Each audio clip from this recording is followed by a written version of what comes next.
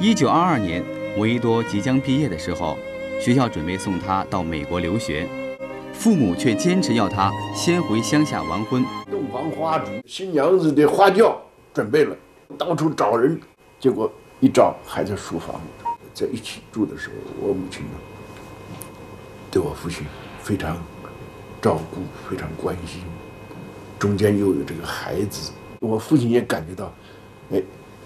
这个时候真正是享受的家庭的温暖，是吧？夫妻的恩爱。我母亲在世的时候就不让我们看这个戏。后来朱自清说，这才能真正的反映文先生对夫人的爱呀。亲爱的妻，这是他们都出去了，我一个人在屋里静极了，静极了。我在想你，我亲爱的妻。我不晓得我是这样无用的人。